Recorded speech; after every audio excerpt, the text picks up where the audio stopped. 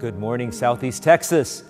It's Thursday morning, and we continue our reading of St. Paul's letter to the Ephesians, today, chapter 6. And I think I may have mentioned this before, but it's worth repeating because I love it so much.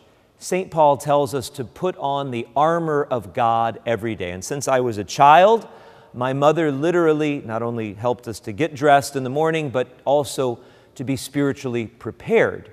And so I want to encourage us to put on the armor of God. It's very simple the helmet of salvation, the breastplate of justice, the belt of truth, the footgear of zeal to propagate the faith, the shield of faith to ward off the fiery darts of the devil, and the sword of the Spirit, which is the Word of God.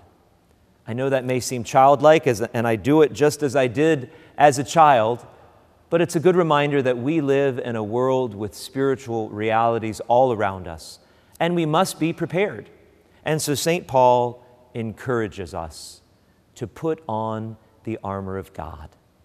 And then we need not fear anything because God is before us, God is within us, He's all around us with His angels and His heavenly protection. Have a blessed day.